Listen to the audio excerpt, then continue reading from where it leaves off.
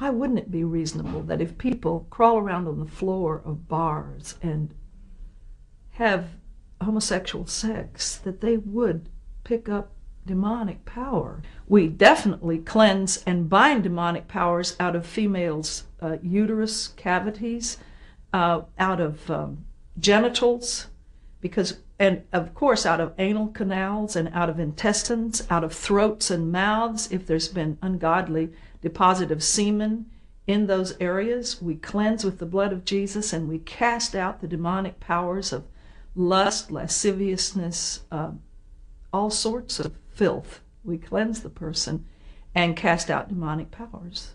That's the way we do it.